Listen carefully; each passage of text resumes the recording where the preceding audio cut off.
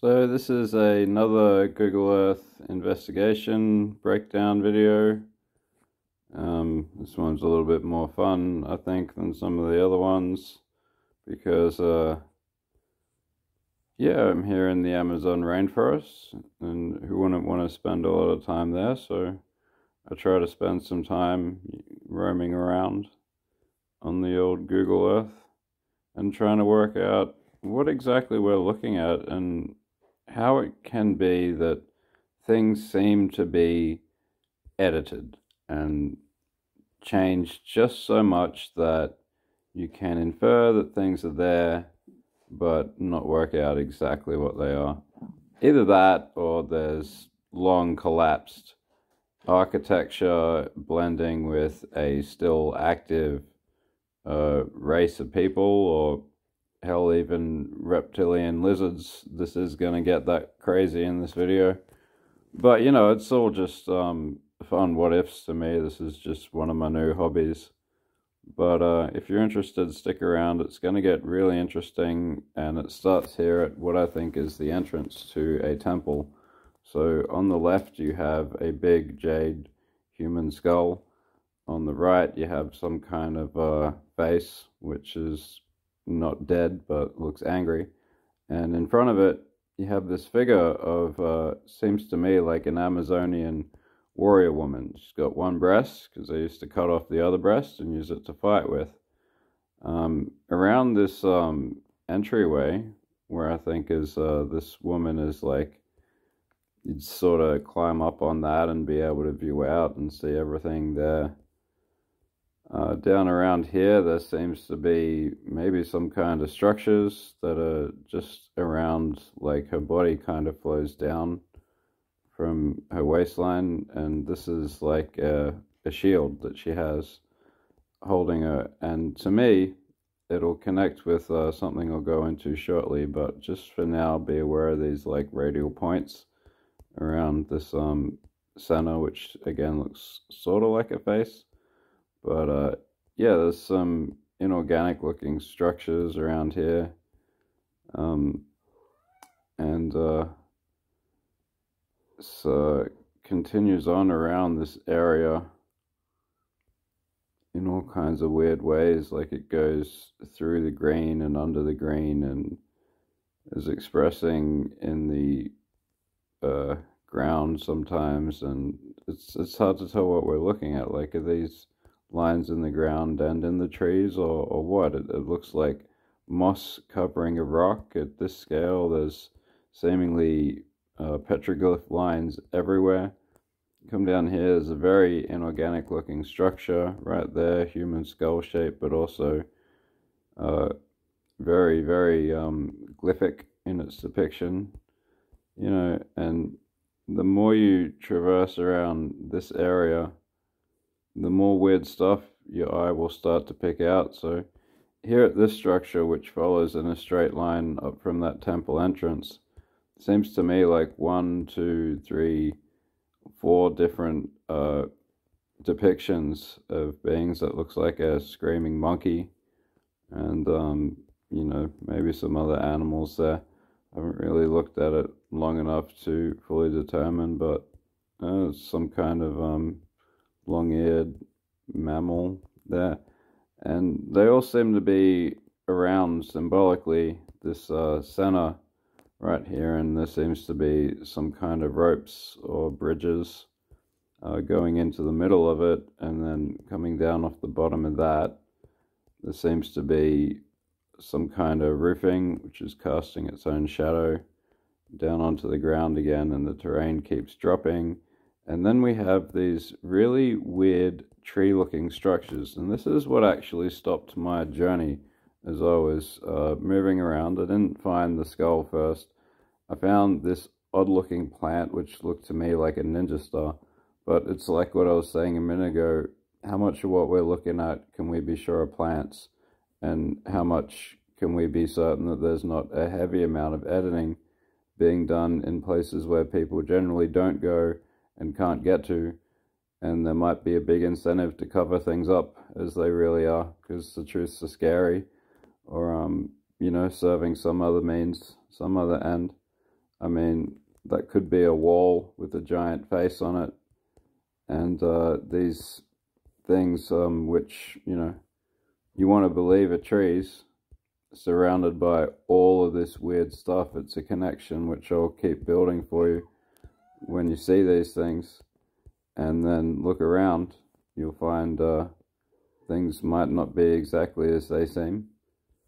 So um, down from this part, there's kind of a pathway that goes through these clearings. Um, there was an artifact in one of these close by. See if I can find it. Yeah, that looks like a, a face sitting there in the dirt. A big stone face. Um, so we go over here. There's more of these structures which don't really seem like trees to me. Seems like a bad editing job to me. But if you want to tell me it's uh, not a bad editing job, then I think there's some kind of technology at play where there's these beings that are in the deep jungle and they've got large noticeable technologies so they guard it with um yeah some kind of technology that conceals them makes them look like trees to photos. I mean these these things i don't know what they are but they seem massive. They seem truly huge and in these weird radial spirals that don't quite map to my knowledge of trees and definitely they stand out in the terrain at a scale where come onto these leaves? And they're bigger than a lot of these um I mean apparent like parts of this broccoli that are individual trees but it's so hard to to make out what we're looking at that I think it had to have been edited to to appear like this. I mean, it's um hard for me to find uh, a lot of photography to compare it with from different terrain heights, but this is another feature is this uh, grayness with um kind of like spider webbing through it. Something like that could be concealing more structures, more structures down here, a doorway a road, a square doorway, yeah, a little temple mound. So this might be an entire city-sized civilization in the jungle there, doing weird stuff that we're not really aware of for one reason or another, be it, you know, people in control of information or their ability to conceal themselves. Either one works for me, and the whole idea is just kind of fun. But um, yeah, we can keep following and looking for these uh, these uh, plants, which are these apparent plants, which I haven't found anywhere else. If I go out a certain distance from this region, they'll sort of just disappear. And um, see if I can find the exact point I was at because it's quite difficult once you zoom out. Even once you start to go, what the hell? Where was I? which makes this whole hobby just kind of endless and you can do it and um, never feel like you've gotten to the end of it. So it's down off this river chain there, I think. Uh, no, I think that all the time. Let's just hit that again. Yeah, chain, of course. So anyway, that's where, yeah, that's where the plants are, and that's where the cave entrance, or the um, temple complex entrance might be. Um, down around here, there's a lot more angular um, topography. There's possibly some mining, some, uh, sorry, logging that's happened down here. I'm not really sure. It's again hard to tell. But, uh, these uh, these trees they seem so out of place and they don't seem to be trees to me at all they seem to be something that uh, Google has decided to sticker around and manipulate slightly to obscure anything that um, is you know gonna give something away that we're not supposed to know about I mean there's clusters of them all around, and anywhere you find them, they just don't look like uh, they don't look like nature to me. They look like uh, beings that are pretending like camo netting, you know, camo netting developed by a species that, or a race that lives out there in the jungle and is making square monuments with stepping on it in the middle of, was that a single tree? A bunch of trees? I don't even know. But the more that you study Google Earth, the more weird stuff you'll find. And why is it that there's just never anything normal around these trees? These weird looking things that are very lazily attempting to be trees at this point. Once you've gone a fair enough away from that spot we were at, look, that that's not a tree that's coming out of the topography in different points, and it's inferring the same tree because, uh, yeah, people are lazy. They're not going to collectively look into things and go, why are the rocks breaking into the same pattern that I'm meant to infer trees from a certain scale? What the hell is going on? So we're following these trees and it's taking us on a journey down from where we started, which uh, you can say isn't evidence of like the path of a city or a civilization's trail through the jungle, but yeah, I don't know. It seems like it could be good evidence at this point, honestly. Well, it's at least fun to think about, that's for sure. And it's just, uh, there's the river. It's weird how hard it is to find this spot again. Every time you zoom out, there it is, because that's the, uh, that's how I notice it, is this uh, spot in the middle. Seems like the center of whatever's going on here that has to be delineated by three different cultures in guard mode or something like that. And you look at all of these straight lines that are coming up through the photographs. What is going on here? What is going on at all? There is just so much Amazon to see, but when you look around the Amazon, and I can start doing that soon, just to uh, give evidence of what I'm what I'm doing here.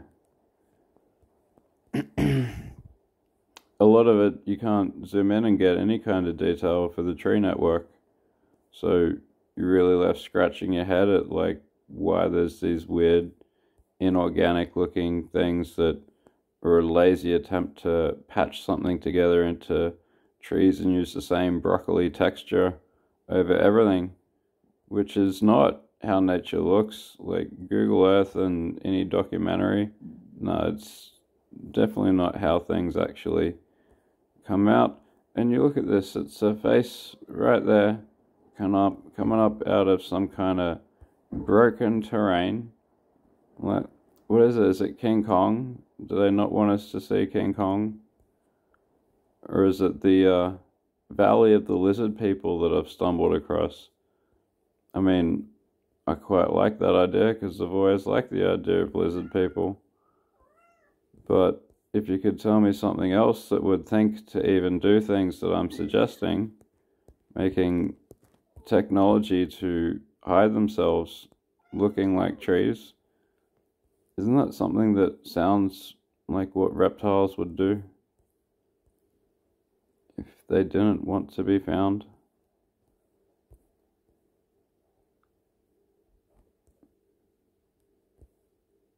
Quite interesting, isn't it? It's one small little spot, and uh, I'll scroll right right away across a few things and uh, where are the spiral trees, huh? Where are they? Oh, there's some more of them. What are they? Giant ferns? Super giant ferns? How are tree leaves that big? Exactly.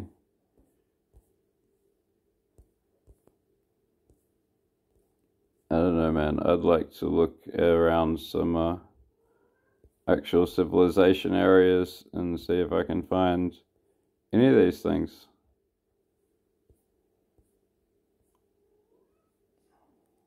because it's just such a weird, freaky, and funky place that we live. And they've given us this 600 million photo album to break down and go over and go, well, I need about a hundred more photos of whatever the hell that is to be able to tell you if it's a supergiant dragonfly or some kind of tree structure or, um, you know, the end of the world waiting to rise up and take over us all. Who knows? Literally, who knows? But I'm going to keep doing these Google Earth videos places where I'd love to go and explore. Things I'd love to prove to myself and the world. You know, just answers that are dying to be scratched out from under the surface. That's uh, covering up something, definitely. Either that or I don't understand maps from my hand. But I know my hand pretty well. And my hand always looks the same way. It doesn't look totally weird if I put it in a program and then, you know, just scale in and scale out.